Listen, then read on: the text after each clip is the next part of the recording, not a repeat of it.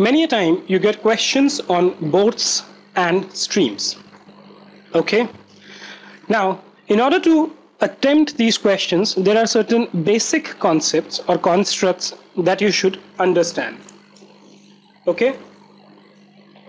So basically, in a boat and a stream, what happens is that there's a river, okay, and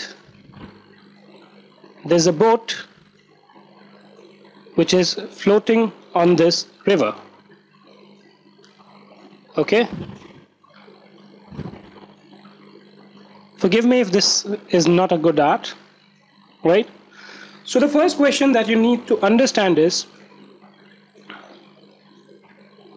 downstream movement and upstream movement. Now normally what happens is that the boat is going to be moving in one direction. It could be either moving in this direction or it could be moving in this direction. And the flow of the river also is going to be there in either of these directions. Right?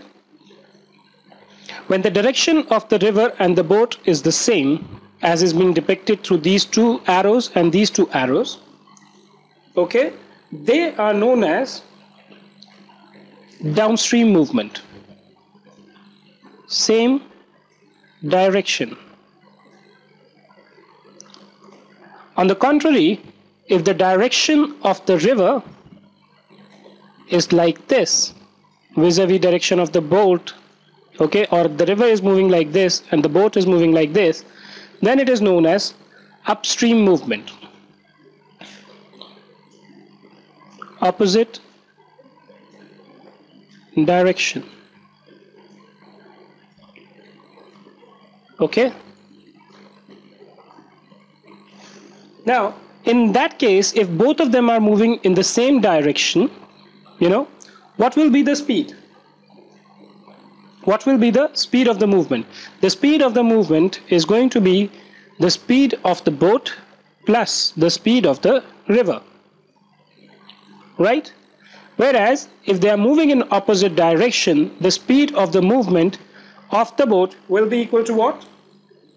This will be equal to the speed of boat minus speed of river.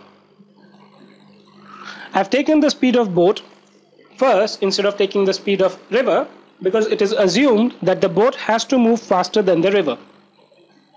Right?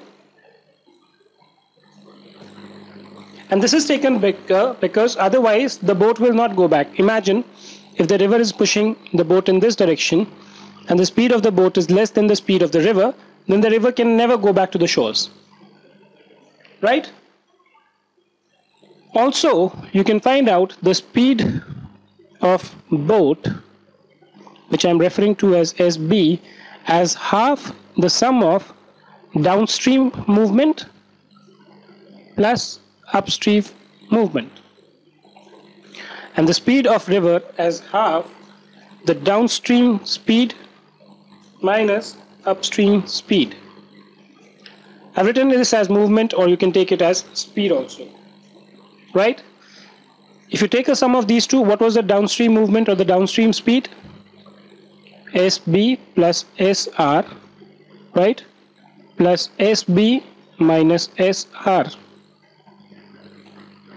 This knocks off this, so you get 2SB, 2SB into 1 and a half, which is this, this goes this is equal to the speed of the boat. That's why we say that the speed of the boat is equal to half downstream speed plus upstream speed.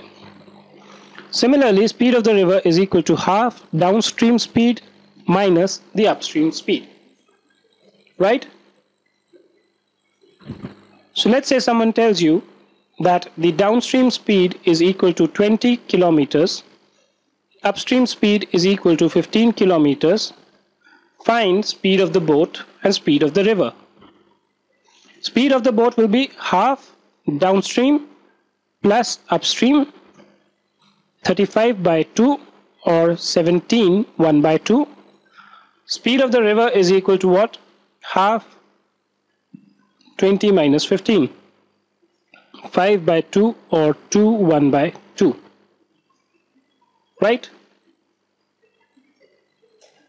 So that's the way you get to these answers. These concepts are very important. If you know them, then it becomes very easier for you to solve the questions.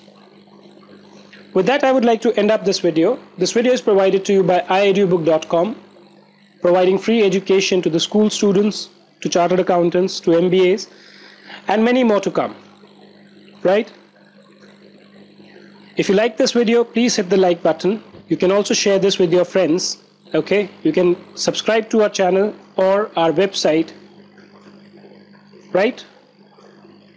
Have a happy learning and have a nice life ahead.